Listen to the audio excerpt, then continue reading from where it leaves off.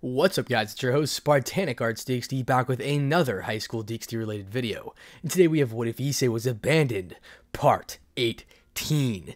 If we could, let's try to hit a thousand likes again. And yes, I see everybody joining Limit Breaker and Balance Breaker.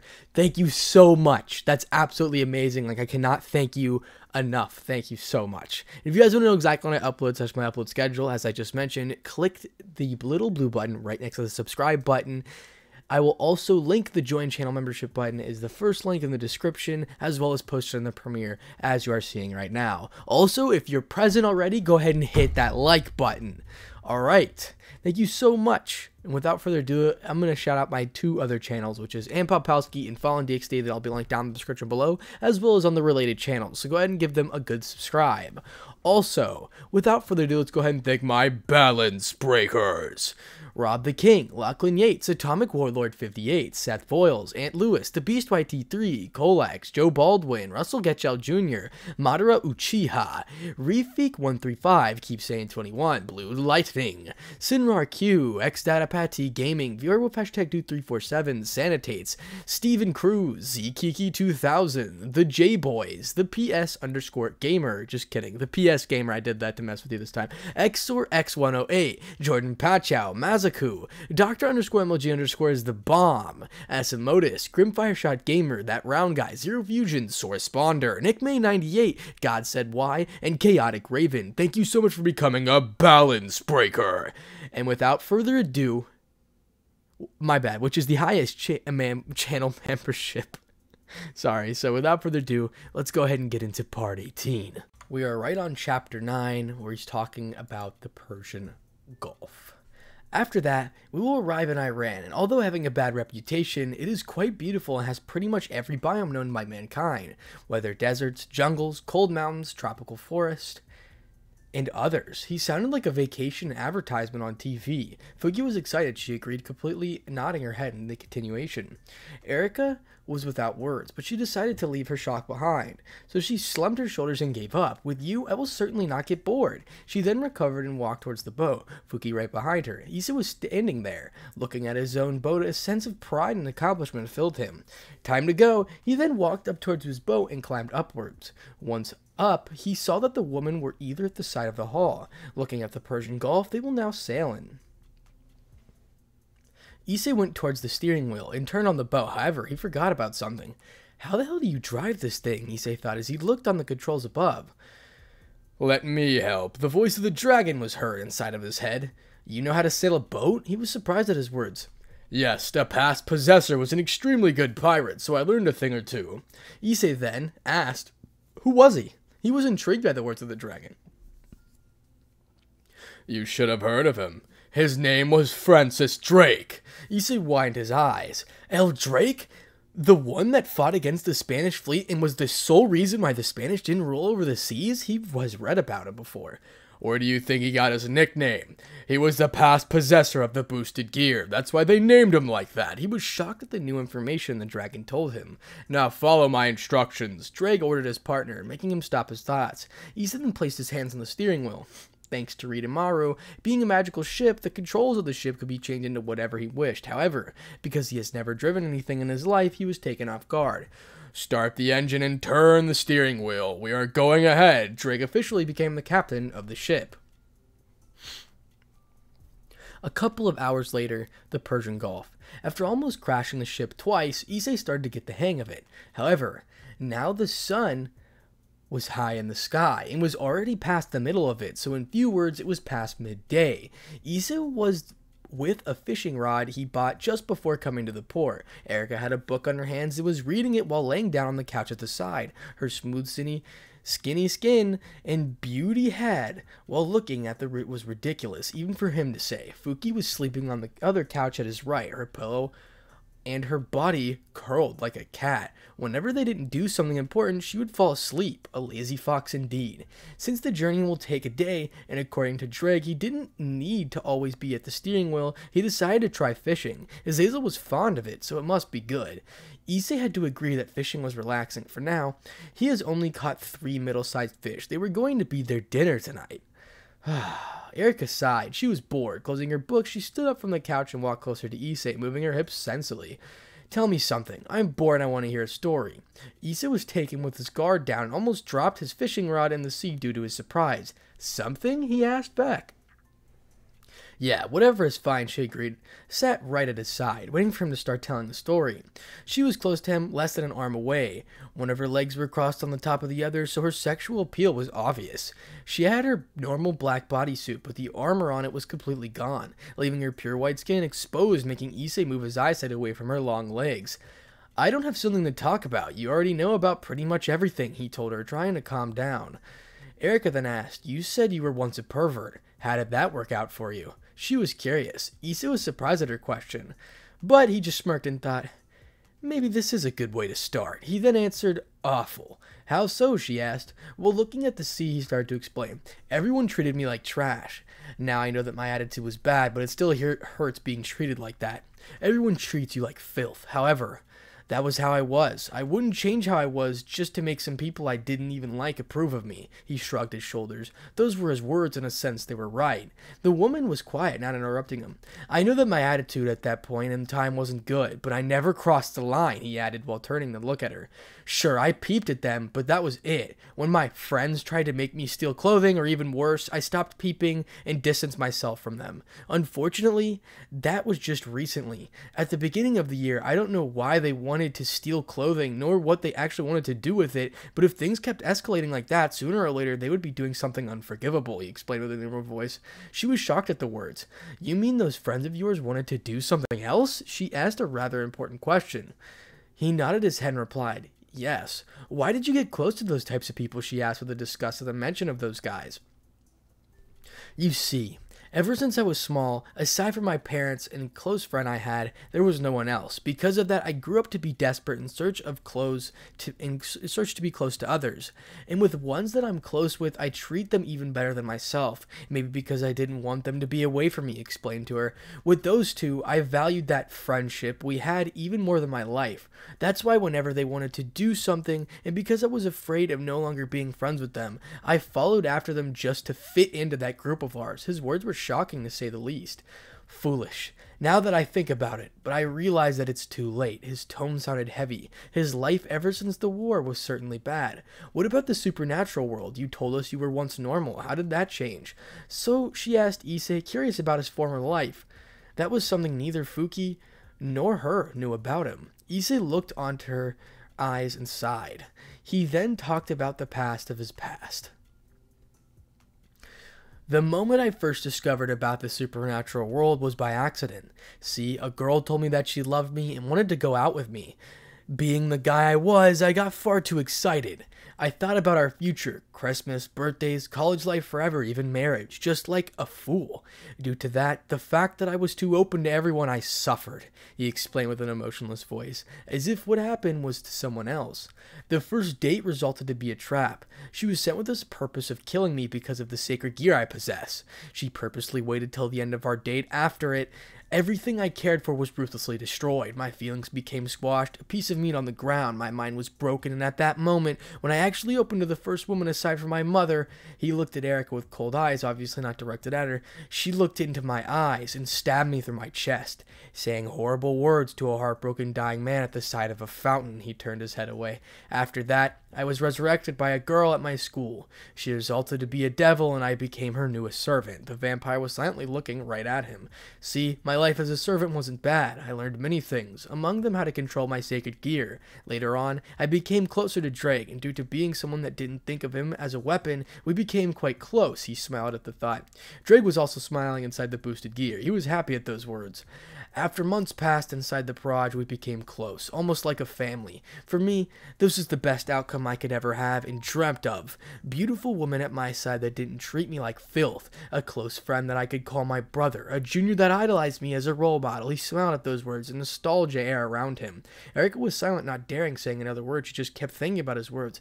Slowly, those women started to develop feelings for me. And as for me, well, you can answer that on your own. He turned, faced her, and a beauty at his side. After that, he saw how Fuki stand up from the couch and walk by his side, sitting on the opposite side of the dragon and hugging his arm. She was awake ever since Erika asked him to tell her story. However, after hearing the first question, she continued lying down, frightening sleep. but right now she stood up and went to his side, maybe as a sign of support for him to continue telling the story.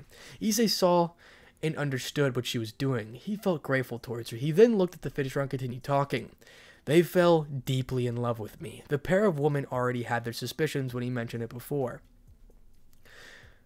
But the how I actually confessed to the woman I loved the most was kind of forced. At some point, due to me having trauma with women, I was afraid of getting closer to them, fearful over the fact that they would do the same thing as the first woman I once loved did to me, he explained as he looked at the horizon. I created a mental barrier for me to not cross a line with a woman, but they didn't notice. When they started to seduce me, to make me cross a line and finally say those words, I couldn't. I was afraid and mentally refused the fact of them falling in love with me. Thanks to that, they exploded, reprimanding me for not understanding their feelings. The woman I loved the most was especially aggressive. She yelled at me, screamed at me, saying, Why couldn't I understand her? Issei was calmly explaining everything. The rest did notice how I couldn't understand her feelings, and because of that, they reprimanded me, saying, You're the worst! How awful could you be? Why don't you understand? Among others, both of the women were silent. Hearing this was certainly quite bad. They, as women, could understand them a little, but they explode to him on like that? Sorry, but that was just wrong. Fuki was especially affected. She had extremely strong feelings for Issei, but she could see how he was carrying something with him, and when spending time with him, she also noticed how sometimes he was uncomfortable. Call it a woman's sixth sense. So because of that, she didn't push the matter. Instead, she waited and started to get closer to Issei, and it was working. Now she understood him a bit more. Not the entire story, but some part of it. Erika was looking at him the entire time. She felt something on her chest when she saw him like that. That something made her feel awful. Never would she have expected that he went through all of that due to some woman that they thought understood him when they didn't even notice something was wrong with him. Even her, that spent all of her life fighting in a war noticed how Issei was sometimes acting weird. Now she understood why. After that, they left me alone to think, he quoted those words, about my mistakes. I spent some time thinking about talking to myself and just doing random things. At some point, I said something that made me remember that first woman I loved. However, they heard it from the other side of the door, since they were spying on me, and at that moment they more or less understood what I was thinking. After some comforting and whatnot, we fixed our relationship, but they still told me I should apologize to Rias for how I felt. Unconsciously, Issei slipped and said the name of the woman. Both of them memorized it. Something about her made their blood boil. After many things, during a Rating Game, I got too excited and screamed my feelings in front of everyone. Thanks to that, our relationship became better. Saying that she also loved me, and after some ups and downs, she finally became my girlfriend, that so-called woman I loved the most. End of the story. Issei told them half of what he experienced. The other half will come when he feels it's right. The women were silent, thinking over his words. They were unsatisfied because they knew he was still keeping something, but just like until now, they will give it time. Issei pulled his fishing rod, and with another fish, then he stood up, grabbed the bucket on the side, filled it with three fish, and then towards the control of the room of the boat. He never looked back, but he knew he felt how a weight was lifted from his shoulders. He knew that after some time, he would need to tell them what exactly he went through, but for now, he was happy as its progress. You did it, partner. I am happy for you. Soon you will let all of that in the past. At the moment, everything will change. I guarantee you, Ddraig told him with pride in his voice. Thanks, Ddraig. I'm slowly improving. Later on, I will finally leave all this in the past. He thanked the dragon and reached the steering wheel. Now, where to? He smiled and asked the captain of the ship. Ha! Turn right and keep holding the steering wheel a couple of minutes. We might arrive sooner than later. The wind is on our side. He was happy at those words, and did as mentioned. After that, the day went peacefully. Some hours later, seeing the coast of their possible destination, Issei yelled at Fuki, Cast an illusion on us so that nobody can see us. The fox nodded her head and used her abilities. A mist covered the boat, and the boat vanished from the waters. Navigating towards the coast, Issei was calmly driving the boat. The pair of women were at his sides prepared for anything. Thankfully, everything went through without a hitch. They reached the coast of the country. Seeing Araki at the distance, Issei screamed at them, We need to fly over! It shouldn't take much to reach the solid land! They nodded at his words, Fuki with a flirty smile, as usual, and Erika with a smirk on her face. After telling them his story, the three of them felt closer to one another. Erika was smiling even more in his presence, and Fuki was trying to stick even closer to Issei was actually and Issei was actually letting her do it. Seeing their changes, Issei was satisfied. It seems that everything went better than he thought. On three, they nodded at his words. One, two, Three, when he finished counting, they jumped high into the air. Issei dismissed his familiar, vanishing it from the sea. They flew over the dark sea and reached a small risk of what they thought to be the coast of Iran. All three of them landed perfectly without a single error. Then they finally paid attention to the scenery of the new country they were at. After spending less than a day in the sea, night finally covered this part of the world. The sky was a perfect deep blue, shining with many stars that seemed to be closer than they actually were. The moon was right above them. It appeared closer than ever before just a finger away. Its perfect craters could be seen without a telescope. The view left the three of them without a breath. Not a single cloud covered the sky, so everything would be seen without much trouble. Issei was the first to look away, seeing how what was below them. A huge risk was below them. A small beach was seen at the bottom of the risk. Pointy rocks covered the vast majority of it, not a single trace of sand, just rocks. The sound of the waves crashing against the rocks was the only thing he could hear, and the sea breeze was the only thing he could smell. The horizon was covered with stars, making the sea shine with a mysterious light. Reaching his hand out, he pointed at the horizon. They had come all this way from there. A sense of accomplishment filled him. His pride was everywhere inside his body. How many have done what they just did? How many have the experience to tell? I crossed the entire Persian Gulf. He was sure that not many people were capable of this feat, and he was the only one of few that actually did it. This is only the beginning. Smiling, he turned around, looked at the woman at his side, both of them still looking at the night sky. We need to reach a town or a city. We have to sleep somewhere. His voice made the two women turn around and look at him. Understanding the indirect, Fuki decided to use the Yasakani no Magatama. They used the treasure only for this type of situations. Not for everything. Traveling all over the world with this was far too boring. It took away the emotion of traveling, so they only used it on special occasions or when it was needed like now. The familiar porter appeared in front of them. I made it so that it gets us to the capital. The normal voice of the fox was heard. Issei was suspicious of her words, but sighed and nodded his head. Walking through the portal, he was the first to leave the risk, quickly followed by the vampire and then the fox. Scene change, capital of Iran, Tehran. Appearing on the top of the oddly built tower, the three travelers came through the portal. Where are we? The fox was the first to ask. Issei ignored those words that were just to tease him and looked around. Fuki, where did you send us? The vampire asked the fox, who only shook her head, not knowing where they were at. Issei went close to the edge of the building and looked around. Below them, he saw a huge green plane with some people walking on it, seemingly looking around the place. He then found where they were. You have a talent in sending us in the most random locations, Fuki. He was impressed where they ended up. Issei, do you know where we are? Erika turned around and asked him. He only nodded with a smirk on his face. Yeah, I know where we are. He then turned around and looked at them. Welcome to Azadi Tower in Tehran. Those were his words. After the information settled in, they quickly widened their eyes in shock. They were a rather famous place.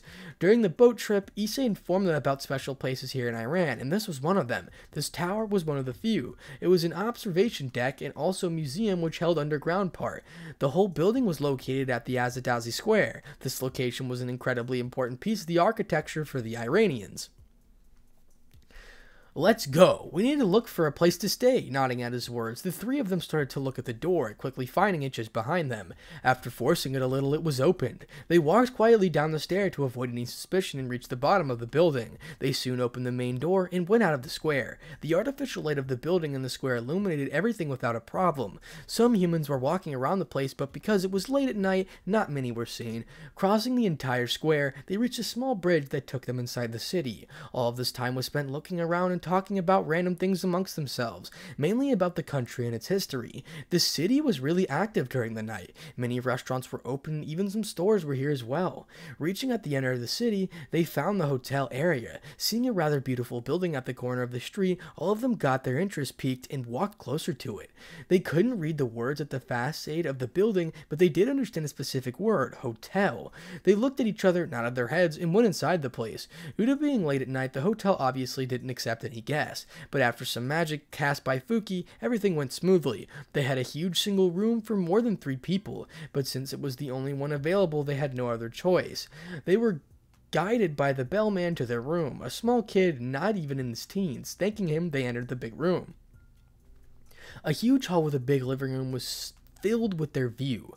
That place was big and open at the bottom of the hall. There was a huge window that covered the entire wall. Two doors were the only thing aside from the living room, each one at the side of the hall. The whole place looked quite expensive, and thanks to the furniture, it actually was quite expensive.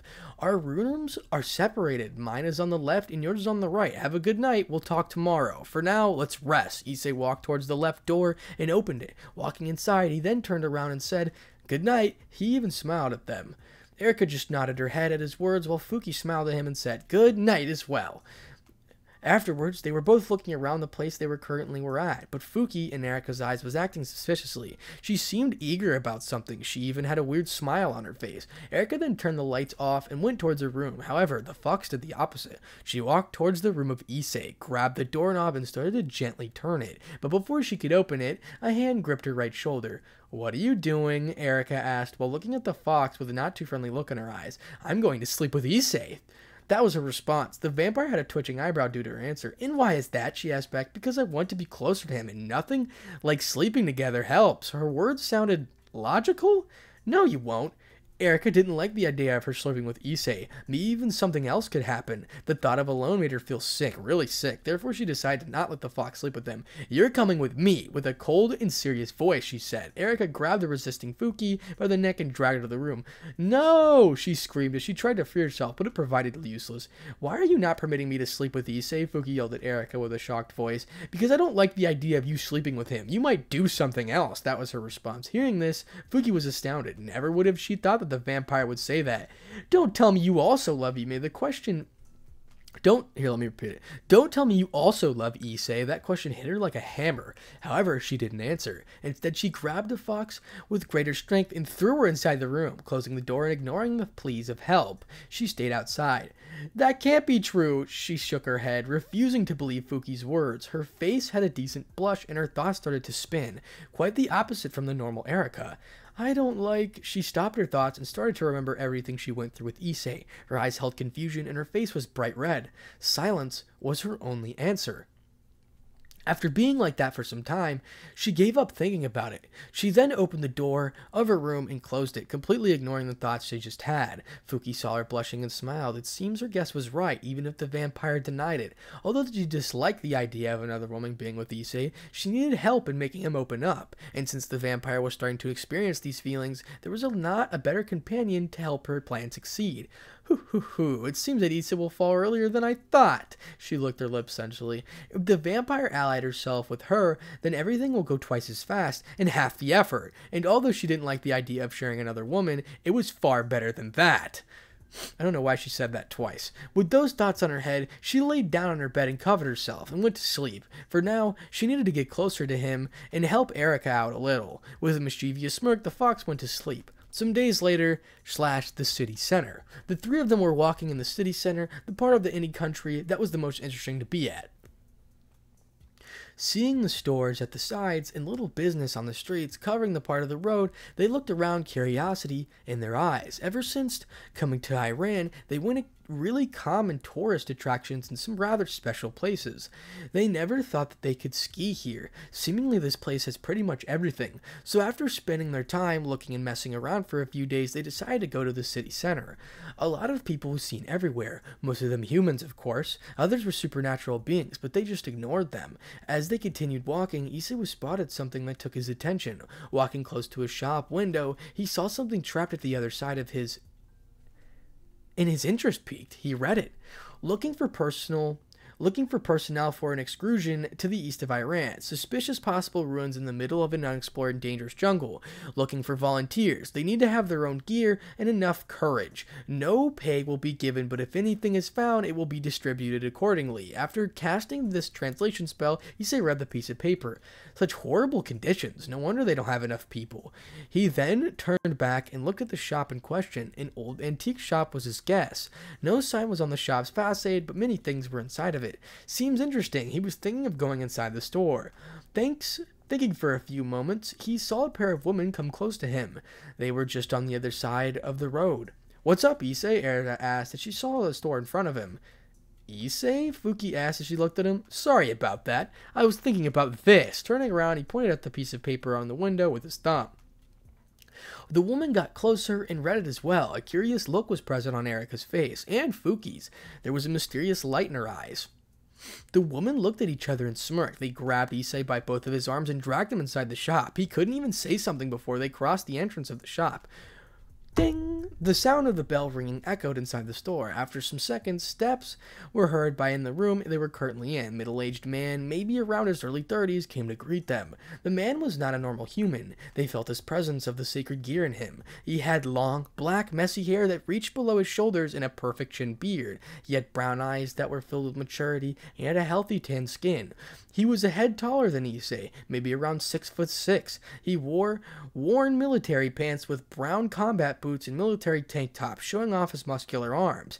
Issei finally freed himself from the grasp of the pair of the woman. Ignoring the man, he looked around and saw the dusty shop they were currently in. The entire place was quite messy, having multiple things scattered across the floor, such as books, symmetrics, bases, and dust. A lot of dust. The walls were painted in a brown tone, and some bookcases could be seen against them. Weird tilted books not even Issei knew about were on the shelves gathering dust. The most interesting things in the store were maps, pieces of armors, and some swords that emitted a magical aura, clearly not your normal piece of equipment. Who are you? The man spoke with pretty good English. Much to Issei's surprise, Issei stepped in front of him and looked into his eyes. With his cold and sharp voice, he talked. We got interested in the paper trapped on your window, so we came to ask about it. His voice was shocked. His voice shocked the old man, but he just nodded in his head and said, Follow me. Then he crossed the curtains at the bottom of the room, the three of them right behind him. After walking across the curtains, they reached another room. This one was far cleaner and more good looking. The place was small, and aside from a round table, a couple of chairs and bookcases against the wall, there was nothing more. The man sat on the chair near the table and looked at them. Sit wherever you want. His voice was casual. Issei walked to the opposite side of the man and sat on the chair that was near him. The two women were behind him, looking at the things that were on the table with curious eyes. So you wish to become part of the expedition? the man asked as he lit a cigarette. Sounds interesting. That was Issei's reply. Interesting? You could lose your life. He tried to scare them off, but it didn't work in the slightest. And? What's your point? Hearing the response of Issei, the man looked at him with a fierce glare. Huh? He was stupefied.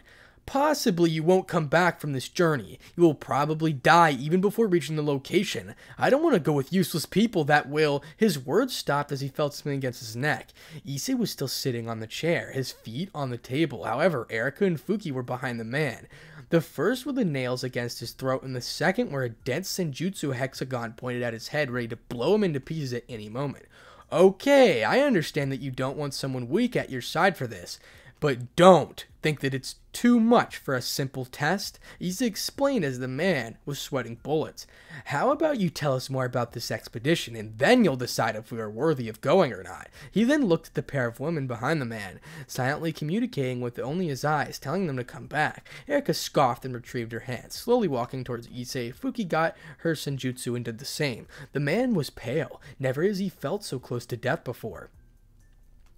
You saw that we are no normal beings.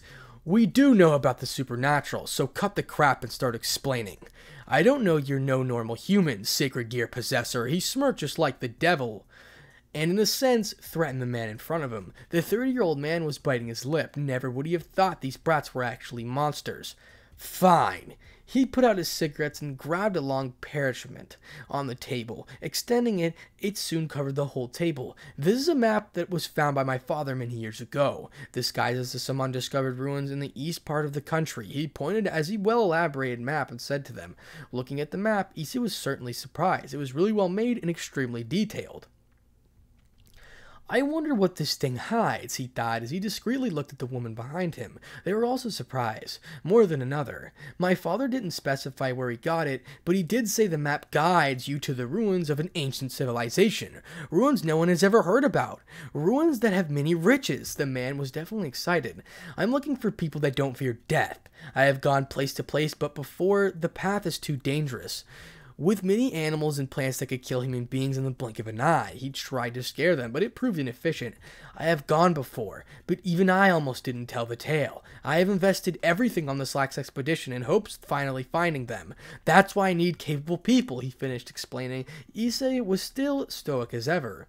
Hmm, that was his only answer. He turned around and looked at his team. What do you think? He asked his team. Sounds interesting. Besides, we already went to pretty much every place of our interest here, so why not? Erica was the one that answered. Fuki? He asked the other woman. No problem, her flirty voice made him smirk. Ddraig? Is his partner. No problem at all. That was his answer. Smiling, Issei turned around and looked at the man in question. It seems you just got three new companions. When do we part? He smiled at him in a threatening way. It was clear for all that no wasn't an answer. Fearful towards the young man, the owner of the store nodded his head. You're lucky. We are leaving tomorrow. Aside from us four, six more people amongst them, my son will come with us, he told the three of them. Where do we meet? he asked the man, satisfied with his response. Tomorrow at 5 a.m. sharp. Here is the shop. We'll part from here, and after a long car journey, we should reach the jungle in a day or so. Issei nodded and lifted his feet on the table. Then he stood up and looked at the man. Understood by the way my name is Issei Hyodo. The woman behind me and Erica, the woman behind me are Erica and Fuki. A pleasure to being with you in this expedition, he smirked. That smile scared the man a little, but since they were going to be together during this, he needed to accustom himself to it. My name is Bellingham Misra. A pleasure. He extended his hand to perform a handshake. Issei nodded and completed his handshake. See you tomorrow, Baham. Issei turned around and walked out the room. The women were following him. After leaving the room, and hearing the bell at the entrance ring, the man finally relaxed and fell into his chair. What are they? They don't feel like human beings at all. He has met a couple of devils before, but aside from that, his contract with the supernatural was extremely small. He even knew that he had a sacred gear. That was no normal feat. Oh, Allah, please protect me and my son during this trip, he muttered as he lit another cigarette. Meanwhile, the team was walking in another city, talking about their new adventure. Whose ruins do you think they are, Issei? The vampire asked the cultured man. That I do not know. Many things have happened here in many eras, so it could be almost everything Sumerians, Persians, Buddhism, I think even Christians, but of that I'm not sure. Those were Issei's guesses, but he wouldn't know unless they were there. Sounds intriguing, the fox told them. They had to agree with her words. It was certainly quite the mis- mystery. Indeed it is. Erica smirked at the satisfaction while Issei looked at him, a small smile adorning his face. I wonder what exactly is going to happen now, he thought to the three of them, got inside in the crowd of people. Tomorrow, early in the morning, slash the meeting point.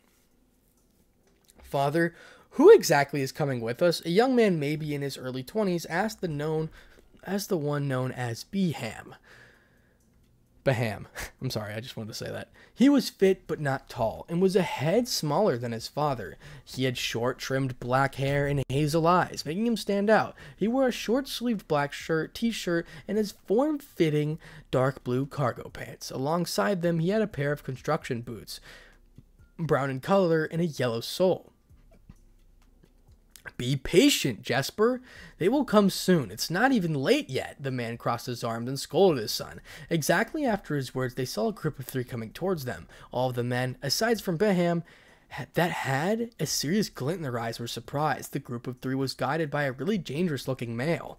He had black eyes similar to an abyss that held a red tinge to them. His hair was dark brown in color, but it was far closer to black. His height was tall, maybe the second tallest man aside from Beham.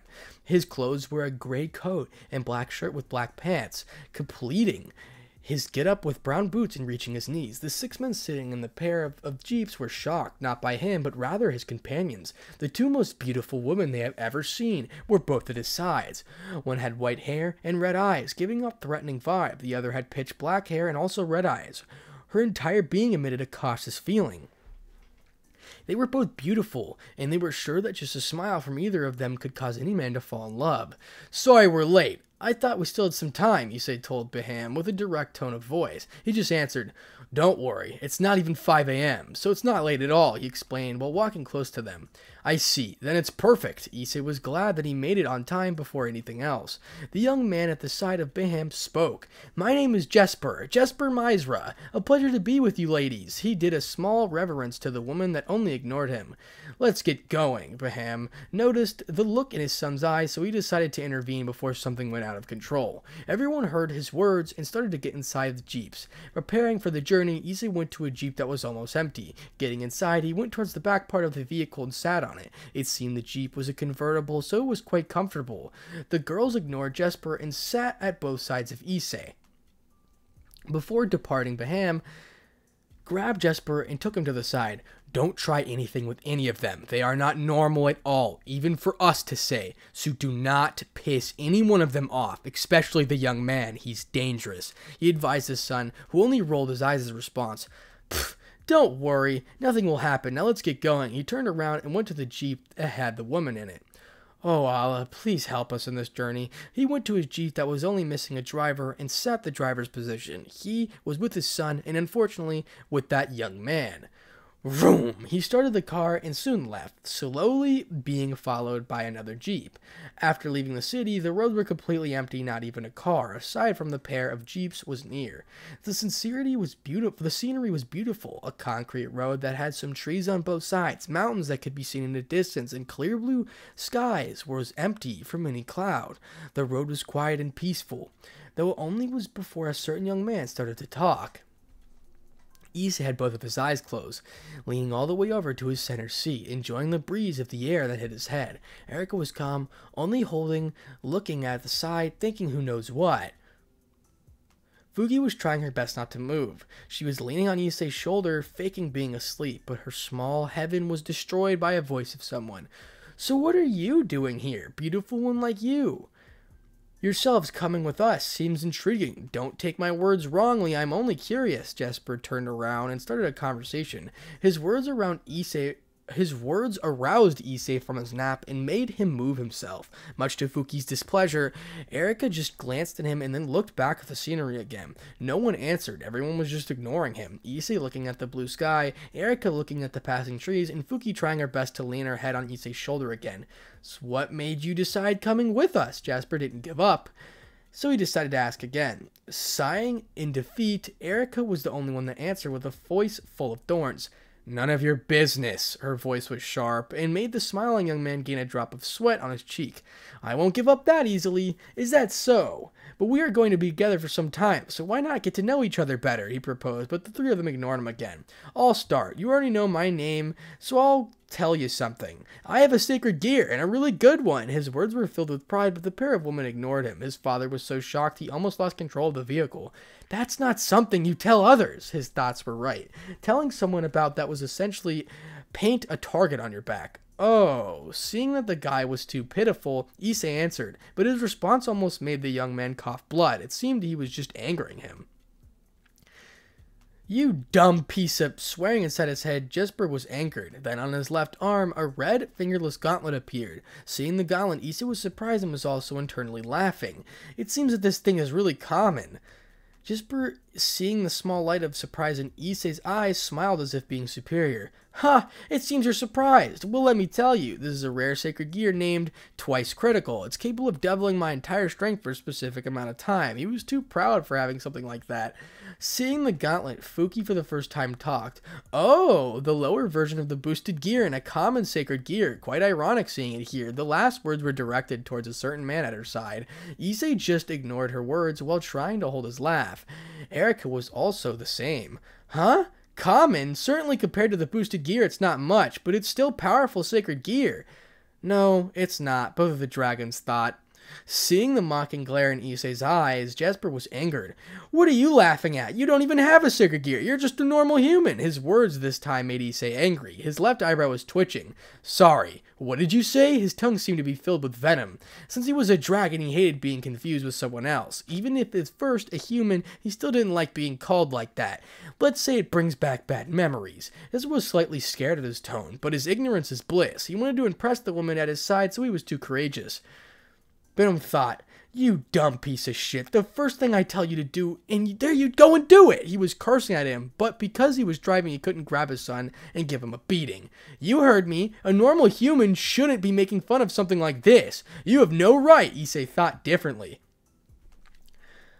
I have a boosted gear that alone is sufficient to make you shut up but you wish to impress both Fuki and Erika by insulting me. Do you think I'll let you do it? Ddraig agreed with his partner. Scare him a little, partner. He should be taught respect. Issei smiled at the dragon's words. Fine by me. He then prepared to mess with the human a little. You dare call me a human? Open your eyes wide, brat. I'm no human. He then released a bit of his aura and changed his eyes into that of a reptile. Both of the humans were shocked. Jesper at seeing those eyes and Behem at sensing the horrific aura. What the fuck is he? Those were Jesper's thoughts as he starred, stared at the man with shock. Oh shit. Allah, please tell me you're fucking with me. Behem, more knowledgeable, he read about a certain species a long time ago, thought to be the strongest and also the proudest. You don't even recognize what I am? I'll give you a hint. To what species is related that sacred gear of yours? Beham was frightened at those words. He was right. The thing that was sitting right behind him was nothing less than a dragon. Son of a bitch, that was his response. Meanwhile, just was thinking, related to my sacred gear, the only thing related to my sacred gear is a dra- Widening his eyes at the realization, he felt a truck just hit him. You, you are a, a d- dragon? He stammered in his response. It seems you do have a brain. Yes, I'm indeed a dragon. Looking into the eyes of the human, smiled. Issei had a big grin on his face. Jasper was left without words. Then he looked at the woman and asked, Then you, you, you are. He was interrupted by the words of Erika. No, we aren't dragons, he sighed in relief. But we aren't human, he swallowed his spit in shock. Then he started and asked, I'm a vampire. Scaling her with her red eyes, Erika answered his question. Jasper just turned to look at the other beauty. I'm a yokai. Her voice carefree as if it was something common and normal. Jasper was astounded. He would have never thought that different creatures would be sitting right behind him. Beham was just driving. He decided to just ignore everything and look at the beautiful scenery. Wow, look, what a beautiful place filled with vegetation, animals, trees, and flowers. Nothing aside from big gray rocks were in front of him, so he was definitely in shock.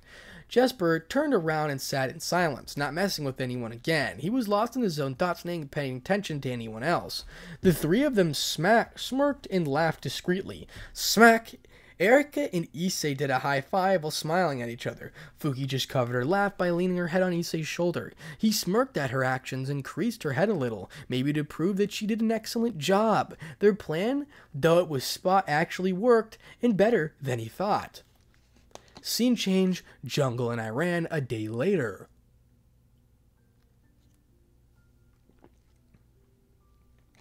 After the little experience in the car, no one dared talk. Due to that, the journey was really peaceful in the eyes of Issei, and now finally reached their destination.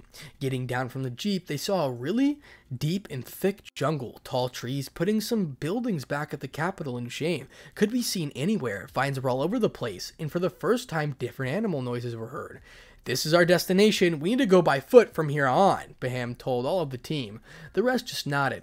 All of them took different tools. Some of them matches to cut the vegetation down, others took rifles and guns to protect themselves, but Behem just took a simple looking sword. However, Issei and the girls felt a rather particular aura that was emitting from the sword. A sacred gear that has a holy sword, probably a replica of a famous one. Those were Issei's guesses. Let's go. We need to reach the ruins before nightfall. Behem was went at the front and started to guide. Jesper was right behind him with the map open, trying to guide them through the best route. The six men were just behind them, cautiously looking at the sides. Issei and the girls were far back, relaxing and enjoying the view. Sometimes they even talked about random stuff, laughing, enjoying among themselves, and not bothered by the jungle at all. They soon went deep inside the jungle, clearing the vegetation with whatever they had. They went further in. After less than three hours, they could only see thick plants and vines everywhere. Trees covered the majority of the sky, and humidity of the place was terrible.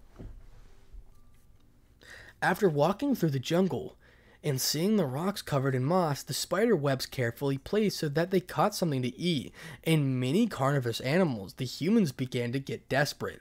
Walking through a dangerous jungle in such a bad climate with the terrible heat and humidity took a toll on their stamina. Actually, some of the men that came with them already gave up. Well, they were just normal humans. They couldn't be blamed. Thankfully, those guys got lucky and didn't die in the journey up until now, but the journey back was different story. They wished them the best. Behem continued guiding them through the messy, humid jungle. Due to, due to the heat Issei took from his coat, he took it off and kept it inside his personal dimension. Erica was his left at the side looking around the place. A bored look on her face. Fuki was walking in front of them acting as a guide. Issei, where do you think will we end up in? Erica talked to him as she was walking at his side. I don't know, but whatever it is, it is sure away from the civilization. Er, Issei didn't know where or where they were at currently.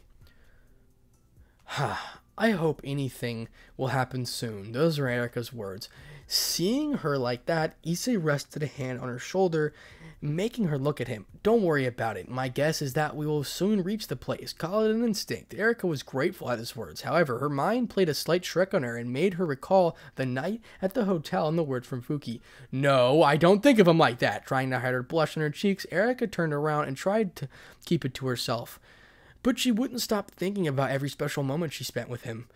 From the moment they first met, to their training routines, to the words they talked during the night at Nusanu, to the explanation back at the Persian Gulf, to even the meaningless conversations they had ever since their first meeting. All of those made her experience a clash of feelings. A part of her liked the fact being with him, like until now, and another just wished to become even closer.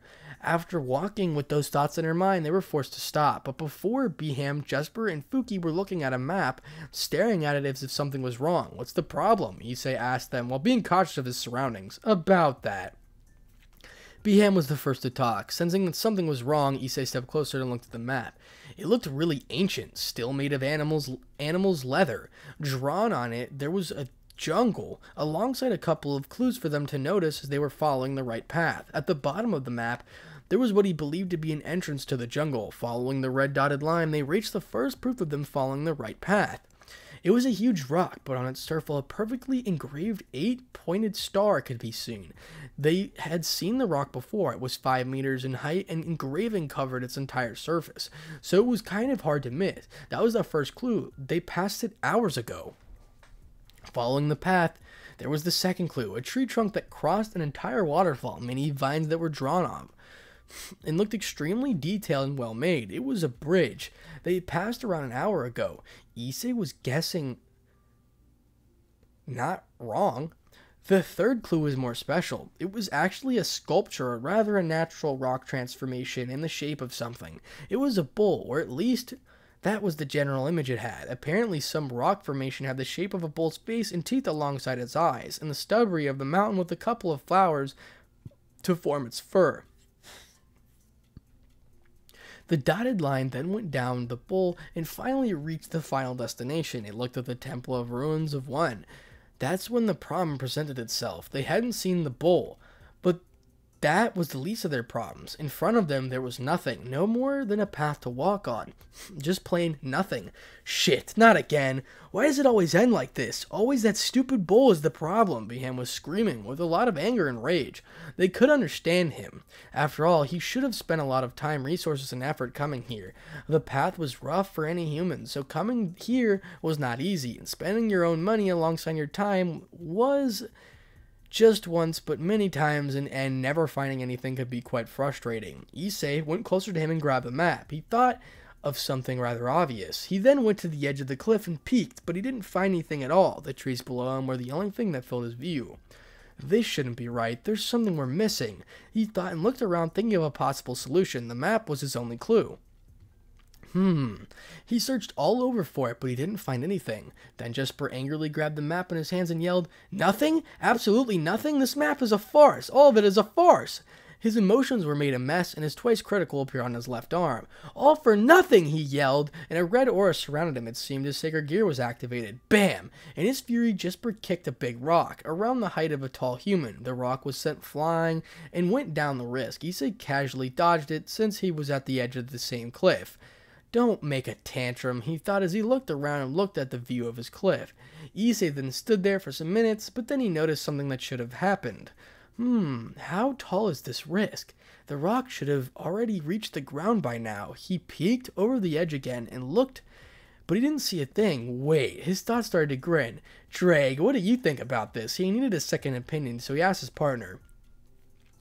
Odd. If you ask me, that rock is big enough to actually make a mess when it lands, but there's nothing quite odd. Due to the mass of the rock, the initial force it was given was sent flying, plus the gravity, it should have broken a few trees, and with that, a huge noise should have been heard, but neither of them happened. Hmm, Issei started to think. What are you thinking, partner? Ddraig was quite curious. What if the ruins are non man made? What if someone else made them and hid them from the eyes of humans? His words managed to make Ddraig think deeply. It's possible. Ruins of supernatural beings, they aren't unheard of, but they're rather rare, even more so than the human world, he told his partner. There's only one way to figure it out. His words were loud enough to be heard by everyone, but before they could ask what he meant, Issei jumped off the cliff. Issei, the woman, screamed when they saw that. They knew nothing would happen to him from his, this height, but seeing him jump off like that made their hearts race their throats. They ran at the edge, but they didn't see a thing. Nothing was present. Not seeing him made both of them feel something clogged in their throats. Now even their hearts seemed to stop for a moment. Issei, they screamed again, this time louder. Worry was a distant emotion in their voice. Jesper and Bam thought, why did he jump? Is he suicidal? They were frozen at their spots and only thinking about the dragon. The four of them peeked over the risk that only saw more jungle below them, but aside from that, nothing could be seen. This weirded them out. After some seconds that felt uh, like hours, all of them saw a black blur flying at impossible speed. It came from the bottom of the risk and reached their location almost instantly. I found it. Issei was floating right above their heads, and with a red and normal tone of voice, he told the four of them. So that's a dragon, Beham thought, as he saw those weird black wings that appeared on the floating above Issei's back. Jasper was silent, not really believing what was in front of him, and because of that, he was just silently staring at him with his eyes wide. Issei, what were you thinking? Erika screamed at him in frustration and anger. What were you thinking? You scared the life out of us. Weirdly enough, Fuki's was scolding him. Seeing them like that, Issei smirked, angering the woman even more, but his thoughts were different. It seemed they were really worried about me. After I pulled that stunt. He was happy that they really cared for him, but before they could stop and scold him more, he spoke. If you wish to know why I did it, then come down. He crossed his arms against his chest and just looked at them. Then he flew down. The four of them remaining people looked over the risk, but yet again saw nothing. Erika and Fuki looked at each other and nodded their heads. Fuki then created a senjutsu circle at the side of the risk, big enough for all to stand on. Afterwards, she looked at the two humans. Get over here. Her words were short, but the men soon walked closer and stood over the circle. Then, with all the people on board, the magic circle started to float and slowly descended down the risk. The journey was slow, maybe because Fuki was being cautious about the location. While descending, the four of them looked around and found nothing in particular. Just a huge risk behind them and a lot of jungle in front, but some seconds later, those dots were gone. Bang! The Senjutsu Circle Fuki made hit something right below them, impeding their movement. Erika was surprised, so while moving towards the edge of the circle, she peeked down below, trying to figure out what just happened. Looking around, she finally saw something. She tilted her head and watched it, what looked like some kind of ripple below her. It looked as if a drop of water fell towards a pond. After some thinking, she reached the conclusion a barrier. Her words made Fuki widen her eyes slightly while the two passengers seemed really confused. Fuki now understood they couldn't see anything below them. She was surprised that Issei figured this one out. Her dragon was quite smart. She then decided to increase the amount of her power on her spell. After pumping more energy into it, the many different engravings on it became much more visible. Even the taijutsu symbol at the center seemed more vivid and lifelike. After some resistance, thanks to the barrier below them, the circle started to breach the transparent dome down below. After some thought, she discovered that his barrier was not built not only for hiding, but for something also to destroy, whatever came into contact with it. She then frowned and started to prepare something. Both of her hands started to glow with different lights black for her left and white for her right. Many much sim- smaller Senjutsu circles started to engrave her wrists, spinning constantly. She then slowly moved as if she was dancing, making the different stances in less than 10 minutes. After that, she stopped moving her extended left hand and up to the right hand down. The light of both of her hands became dimmer. In some seconds, it was gone. Soon they passed through the barrier and saw a different scenery than the one from before. They saw something they never expected to see. Finally landing on the ground and dissipating the black and white sphere, all the present saw the one would call an ancient golden city. The entire location was golden in color as if it made out of pure gold, with only a few parts being black or white. Everything looked brand new as if the city was recently built. The orange sun was behind the whole city and gave it a vivid reddish glowish that made everything in front of them shine with an elegant light. And that is where we're going to be stopping for now. So I apologize for stopping. Well, I mean, actually, I just read for like another hour. I do these about every. I read for like about an hour every time. Thank you so much for the support. It's been absolutely amazing. Once again, if you guys would like to become a balance breaker or a limit breaker, just let me know, and it will be in the description. Well, obviously, it still is in the description regardless, but it's also going to be on the premiere link as well. So thank you so much for the support, man. A lot of people keep asking me when the uh, IRL live stream is going to be. When I say IRL, it, it, I just mean uh, it's just me showing my face. I'm still on the computer, sitting my ass down. So um, yeah. This time I will not be streaming with anybody else. It's just me. So uh, I just thought that was worthy of mentioning. So okay, what what's go what's going on here with this live stream thing? So I I'm thinking maybe around the 10th. I'm I'm gonna have to do it before the 16th of August. If you guys don't know, I go back to school the August of 16th, and then I'll have some uploads scheduled. So yeah. So thank you so much for the support remember the Ultra Instinct movie almost finished, so I just need to do a little bit more things on it, and then I can finally post it. So yeah, thank you so much for the support, man. It's been absolutely amazing. Let's try to hit a thousand likes. If you guys are still in this premiere as of right now, I know some of you drop off when I start talking, but if you go ahead and hit that like button, that'd be absolutely amazing. Thank you so much for the support, man. Seriously, I cannot thank you guys enough. Can't believe we hit 30k, man. We're on that 40k, 50k grind, and without further ado. Remember, uh, go subscribe to my two other channels at Popowski and uh, Fallen DxD down in the description below, as well as some other related channel section. And without further ado, Spartanic Artz DxD out.